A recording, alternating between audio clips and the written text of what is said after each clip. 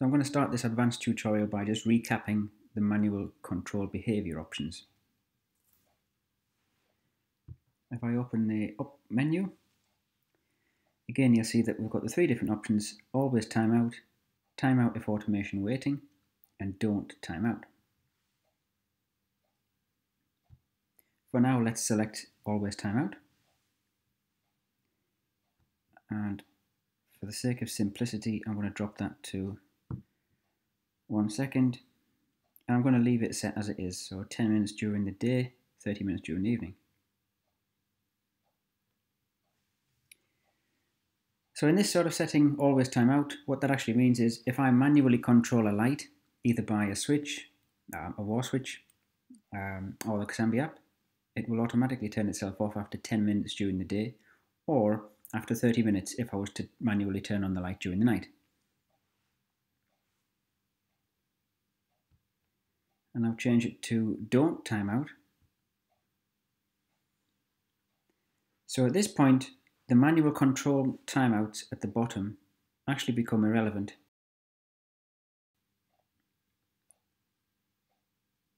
The reason for that is because we've selected don't timeout, they will never time out Therefore, if I manually control a light either by a, from a wall switch or by the app itself, it will, the light will stay on until I then manually turn it off.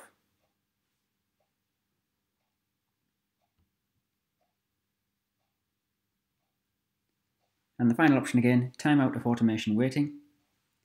That means the light itself will only time out if it is not being controlled by automation. So what can automation actually mean? In this case, it could be a, a timer or a sensor input, for example. So what that actually means is if the light is not being controlled by a timer or a sensor, it will not time out. If it is being controlled by a sensor or a timer, it will eventually time out after the 10 minute timeout control. However, in the case of a sensor, it's actually that 10 minutes plus the linger time set in the sensor settings.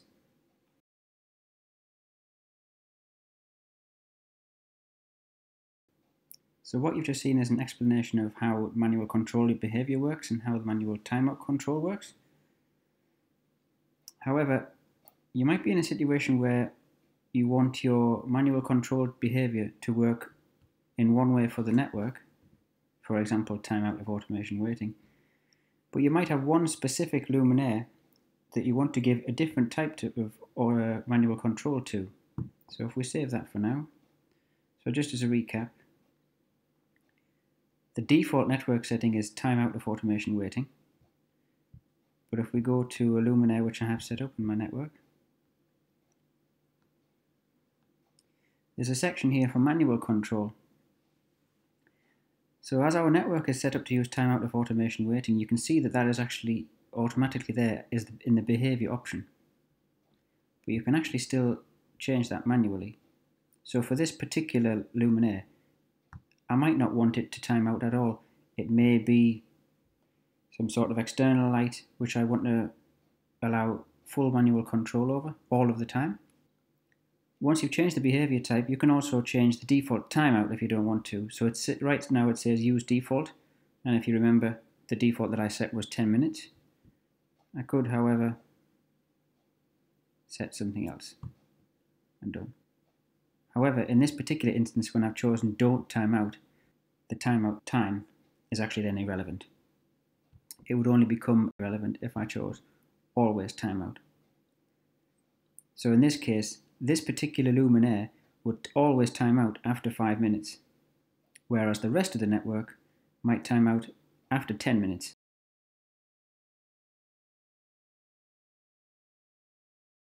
So here I'm going to show an example of manual control overriding an active timer. I have a timer running which turns on my lights at 9 o'clock in the morning and keeps them on until 9 o'clock in the evening and it's running a scene called 20%. The reason I'm using 20% is it's just a, a lower brightness for the camera even though it's actually still overexposing.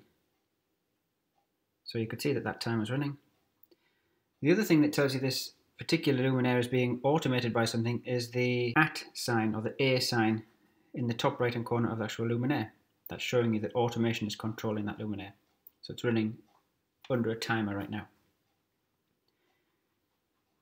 Purely for demonstration purposes, I've changed the timeout manual control control timeout time. Ah, made a mistake. I moved it to one, but I only did it for that particular day. Now it's one minute for the entire week. So any manual control will only last for one minute. So like I said, this is running under automation right now. If I manually control it, move it up to 80%, back down a bit. You'll now see that the A has disappeared from the top right hand corner. That's telling you that automation is no longer under controlling it because I've manually controlled it. So if we now wait roughly one minute, and I think I'll speed this up, um, you'll see that eventually the luminaire will drop down to, this luminaire will drop down to 20% and the A for automation should reappear in the top right hand corner.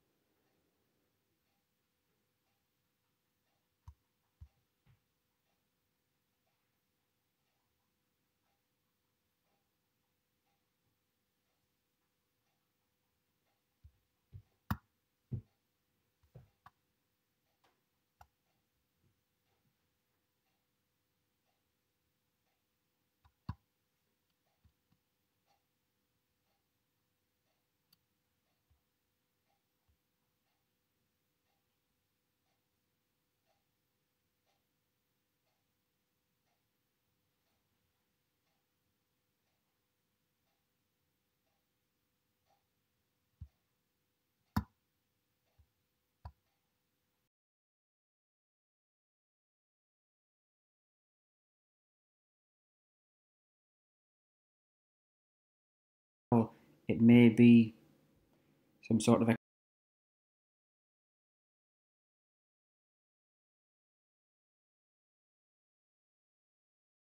So here's an example of uh, resuming group and whole network automation. You'll see in the app that I've now created a group, simply called group, and within it I've placed the small luminaire that you can turn, see turned on on the left hand side of the screen. I've also added a second luminaire, which is the RGB light. I've also added an Xpress switch as well. And I've pre-configured it. Button number one will now control the group, which is actually the luminaire here on the left. Button number three will resume automation just for that group. And button number four will resume automation for the entire network. So here's, so here's an example of what happens when we use these two buttons Again, bear in mind that the RGB light is not a member of a group. So I'll turn on the RGB light with the app. That'll do. I'm now going to manually control the light which is controlled by the timer. If I now press button number 3, that button was resume automation group. So you can see that it went back from whatever its previous setting was to the 20% dimming level which the timer is now controlling. Let's control that light again.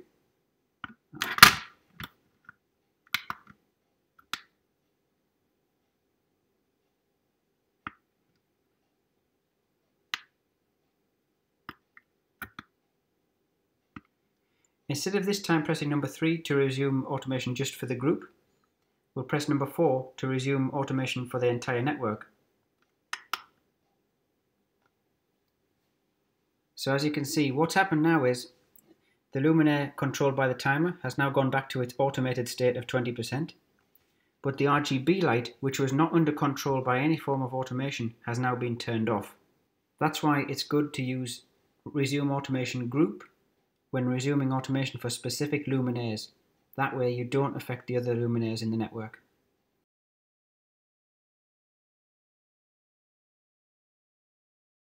So in this example I'm going to show you how or what happens when a sensor is overridden with manual control. Let's presume that we walk into the meeting room, the sensor gets triggered, as you can just see. The red light has come on to show presence on the sensor, and my luminaires come on as it's been triggered. I've got this particular luminaire uh, controlled to number 2. The linger time for this particular uh, sensor is 2 minutes. And the reason I've set 2 minutes is because the manual uh, control timeout is set to 1 minute. So I wanted to set a higher linger time than the manual control timeout. Let's manually control this light, meaning we can turn it up on and off. Put it to full brightness, down again, Let's turn it back up a little bit more.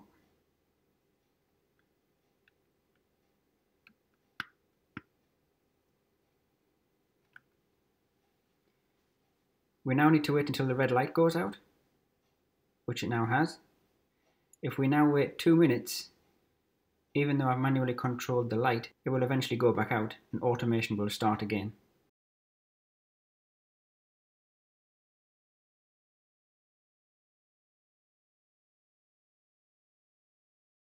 As you can see in the app, the A has disappeared. After two minutes, it should reappear. No, it won't because I just triggered the light down.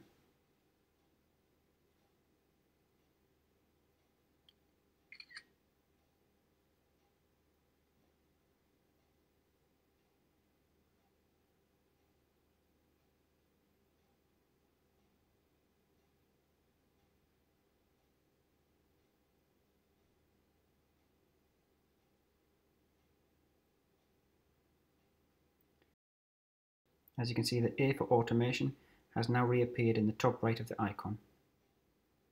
The reason the light did not go out was because the linger time was already running.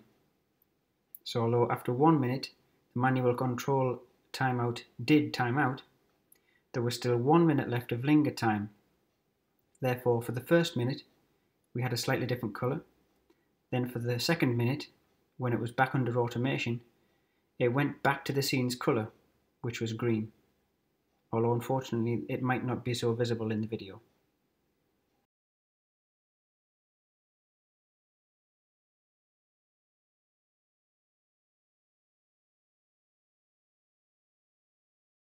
So in this example I'm going to show you how automation and manual control can work together. The control hierarchy mode for this uh, one is timeout if automation waiting. If I trigger the sensor here, you'll see that it triggers my green or my RGB light on the left hand side, which is currently green. And I've set the linger time for this uh, one for 10 to 10 seconds, just for the sake of a, uh, an example. The manual control timeout is set to one minute. So here you can see that the RGB light on the left is being triggered by the sensor and the light on the right is manually controlled. It's not being controlled by a timer or a sensor. I can simply turn it off or on from the Xpress switch. So what we're going to do now is I'm going to manually turn off this RGB light which I've assigned to number 2. Now that I'm manually controlling that light, the one minute manual timeout is now counting down from one minute to zero seconds. If I stand still so that I don't trigger the sensor for one minute,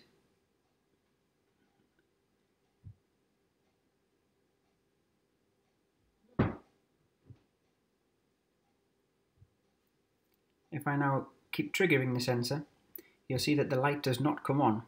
That's because I've manually controlled the light to turn it off.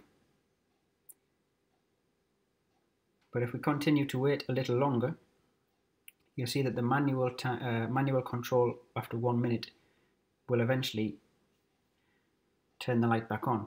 And the reason the light's going to back, up, come back on is because I keep triggering the sensor.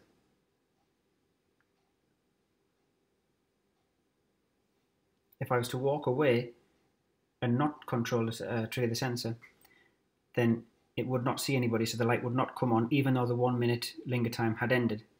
So because I've been triggering the sensor, um, the linger time was still going, even though it was 10 seconds. And when the one minute timed out, the light came back on, as you see. During all of that, the light on the right hand side, the white light, was never affected.